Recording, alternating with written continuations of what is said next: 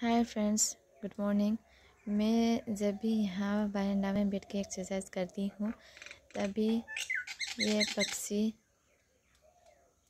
और वहाँ पे भी एक है और यहाँ पे दो हैं। देखिए, आके ये देखिए ये देखिए, बुला रहा है। उसी तरह से आवाज़ देता है